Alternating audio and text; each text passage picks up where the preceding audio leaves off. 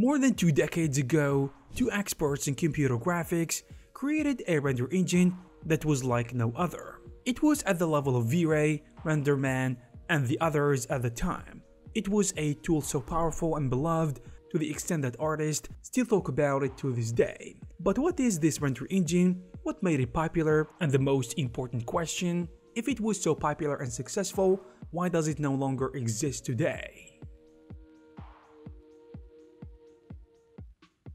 This render engine is called Brazil RS. Once upon a time, Brazil used to be a commercial plugin for Autodesk Viz, in addition to Rhino 3D and 3D Studio Max, the main software where it made quite a name for itself. However, that aside, sometimes when I talk to other 3D artists about this render engine and I mention the name of Brazil RS, they often say it must be from Brazil, right? And believe me, I thought the same too when I first heard about it around 2008 or 2009 or something like that. But the history behind the name is a very interesting one. The story of the software started under the hands of Steve Blackmon and Scott Kirvan, two industry veterans who began the development of a render engine while working at Blur Studio, a prestigious VFX studio that was part of many blockbusters such as Deadpool, Avengers, and Sonic the Hedgehog, just to name a few. But the studio is also popular in the video game development industry. In the year 2000, Scott departed from Blur to go on in his journey of doing various freelance work and technical consulting for film and television productions. Meanwhile, he started playing around with GI and Ghost, the predecessor of Brazil, which was a software that was creating a lot of hype in the CG community. And by 2001, they felt like it was the right time to join forces again and form SplutterFish to sell and market the Brazil render engine as a photorealistic rendering engine. Now, how did the name Brazil become a thing? In a 2003 interview with Scott on the CGChannel.com website, he mentioned how the ghost name was quickly dropped after they ran into a trademark conflict. And after going through a long list of options without finding anything they liked, they decided to switch to place-based code names like Chicago or Cairo since it was a concept they were fans of. So they looked at the map and spotted Brazil, and they thought it was short, memorable, and had a nice ring to it. Actually, the credit for picking the name goes to Steve's stepsister, and once they heard it, they all felt it was the right name for their product. And that's how the story of the name came about. But what about the software itself, and how good it really was? Back in the day when Brazil was still just in its early stages, the team wanted to aim for the stars and produce unrivaled software that could meet the demands of the highest level of rendering.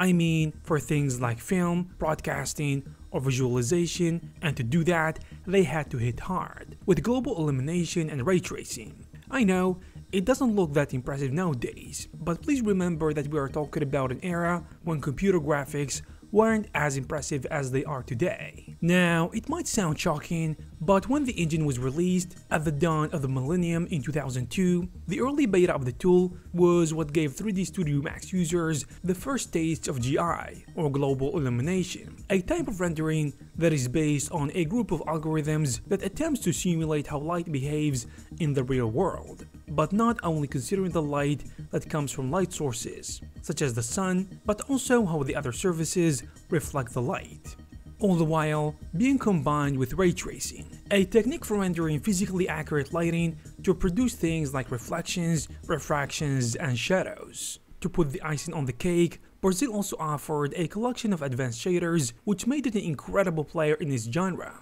And while there are many for us to count, we had shaders like Glow Shader, a semi-transparent one that went by the name of Ghost, and a car paint shader that provided a nice way to calculate shiny surfaces, well, at least back then it did. The engine also had a multi-threaded design and was able to use multiple workstations at once for rendering, in addition to all the bells and whistles, like HDRI support, photon mapping, or subsurface scattering a way to simulate how light penetrates a translucent surface like human skin, among many other features. It goes without saying that the engine kept evolving throughout the years, and was gradually equipped with more tools to take on any challenges along the way. thanks to its easy interface, expandable nature, and the capacity to give artists the ability to focus on artistic work rather than trying to deal with any technological headaches or issues because the engine was very stable. Scott put it best when he said Brazil's design was the result of years of brainstorming and dreams about making a powerful rendering engine that was also carefully put together. And during its time, very few ray tracers could even come close to its performance and speed. From the community perspective, users have instantly loved the engine since its beta days, and this trend continued even after the commercial release thanks to the constant communication with the 3D community, which really helped the development process. And at the forefront of this were architectural artists and visualization professionals, who were considered to be a significant portion of their client base. The fascinating part is that the success was so incredible that it forced the team to hire ArchViz experts to ensure that the needs of the clients were being met. However, while everything seemed to be working smoothly on the outside, behind the scenes, there was a storm in the making. But what is it all about? After many years, like how it is the case with most software companies in the industry, the fateful day has come. You know, they had to get acquired by a bigger fish. At this time, the situation is no different. So in 2008, SplutterFish was acquired by Caustic Graphics, who began to rewrite Brazil using Caustic's OpenRL API. Simply put, it was a way to fully exploit the ray tracing hardware of the Caustics with it, and the new render engine was initially publicly called Brazil 3.0 SD. However, that didn't last too long, because Caustics themselves were consequently acquired by Imagination Technologies in 2010 for $27 million, and about this deal, Hossein Yassaie, CEO of Imagination at the time said, Ray tracing is a key technology that traditionally has been regarded as the exclusive domain of specialized markets and non-real-time applications. We intend to change that. In other words, they wanted to bring ray tracing to mainstream, but how did that go? In May 2012, to the surprise of many, Imagination Technologies dropped a bombshell by announcing that they were pulling the plug on Brazil in an announcement they made in their user forum at the time, they revealed that they would stop selling the software and they will shut down the forums alongside the SplutterFish website itself. And if you are wondering why, honestly, even over a decade later, the situation is still confusing because Imagination never explained their reasons, and many fans are still scratching their heads over that move.